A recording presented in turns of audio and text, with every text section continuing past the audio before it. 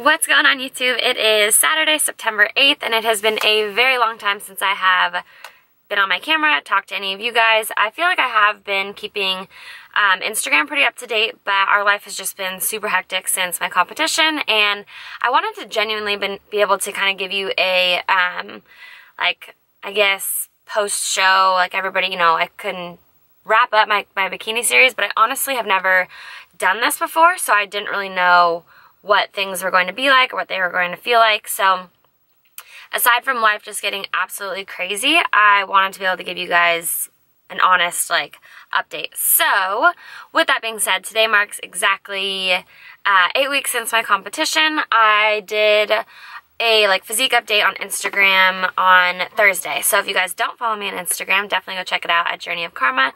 Um, so I am sitting, my weight's definitely kind of been like up and down, but I'm about four or five pounds over stage weight, um, which I think is totally normal. I'm feeling a little bit more feminine. I was kind of feeling, um, it's kind of like bony and scrawny a little bit. So obviously with competition, you take that to the extreme. So um, yeah, I am in my reverse diet. I'm currently, um, macro-wise, if you guys have been following, I'm at 40 grams fat, 300 grams carbs, and 150 grams protein. So sitting at an awesome food intake, which has been great. Um, some of those, uh, some of those carbs have been getting factored into my tequila. So that's definitely been awesome. We got my other half over there. Hello!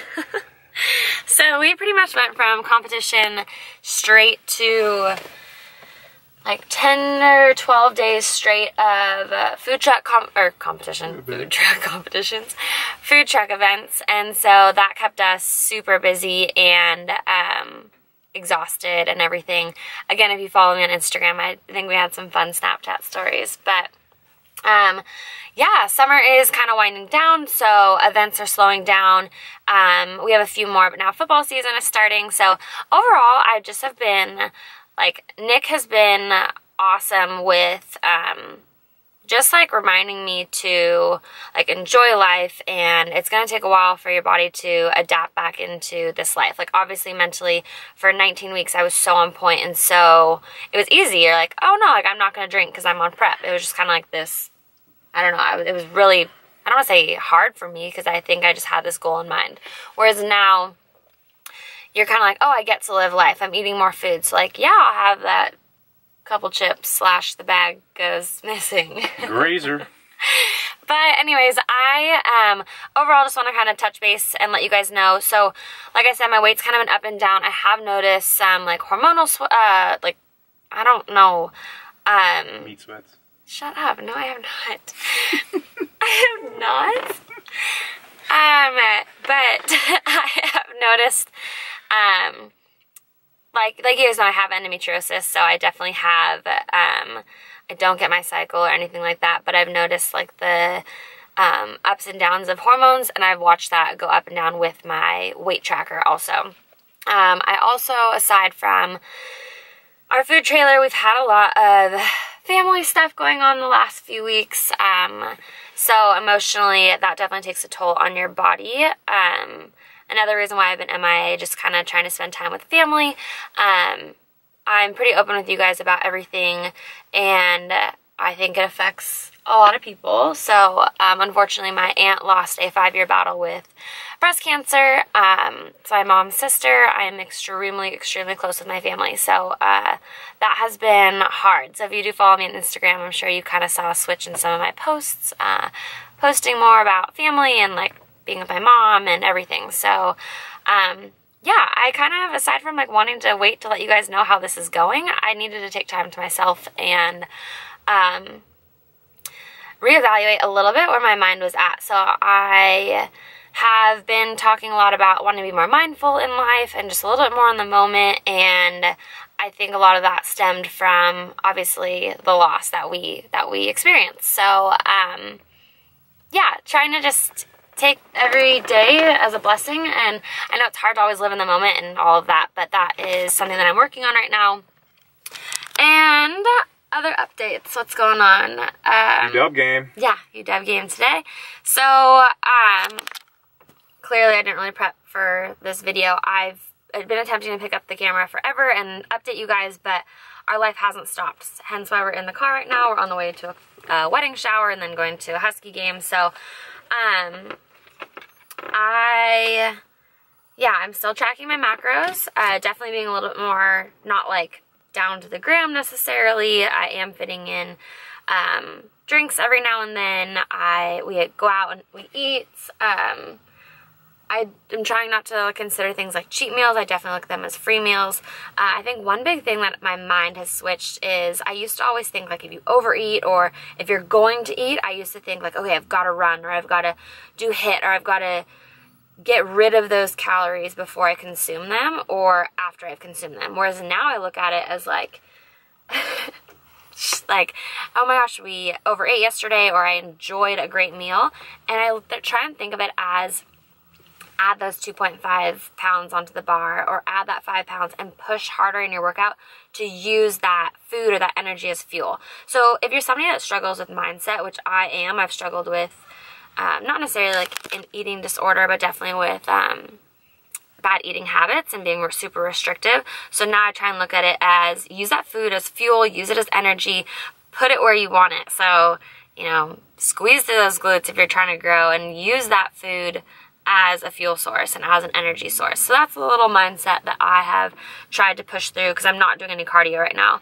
Um, oh, another thing, we've gotten into hiking and um, trying to get a lot of our activity. Being on the lake. Yeah, being on the lake, water skiing, surfing, like just trying to get outside, be more active, and not necessarily think of fitness and health as like you have to be in the gym, you have to push through this workout. I'm probably lifting four or five days a week right now.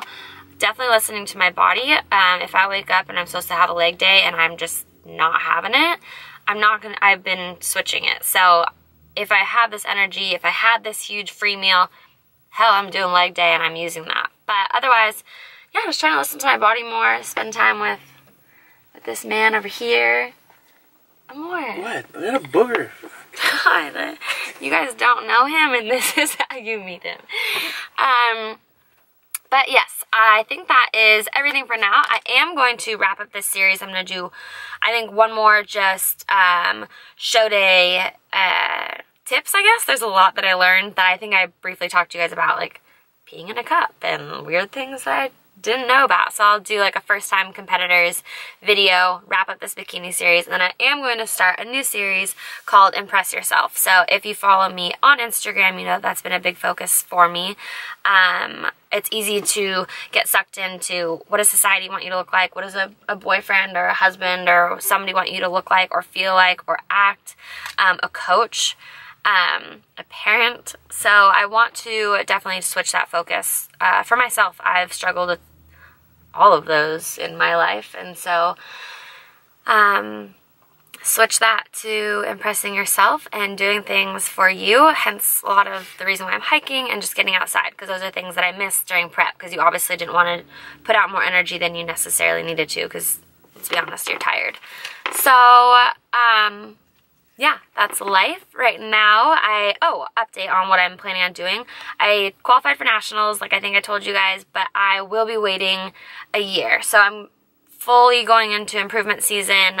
Um, we're going to work up my, my macros so you guys know where I'm at now, which is incredible. I didn't get to 300 grams of carbs until last February, I think, was the first time I ever ate that. And I was, he gave me 300 grams of carbs one month post show. So it just goes to show the time and effort I put in last year before my show really helped. It helped get that metabolism going. So now my body's not just like holding on to everything I'm eating. So slowly getting stronger in my lifts, uh, feeling great, feeling more like not so foggy brained. I mean, my, my brain's everywhere with everything we have going on in life. But uh, yeah, so gonna take the next few months and just um, work on me, work on food, work on lifting, have fun with family, and then we'll reevaluate like what show I'm thinking about, but not until probably like February and March would be when a potential next prep would start. So, I think that's everything. I think, think so. Yeah. So I apologize for the. Actually, no. We're working on not saying I'm sorry. Mm -mm. It's thank you. Thank you. So instead thank of saying yes, thank you for waiting patiently.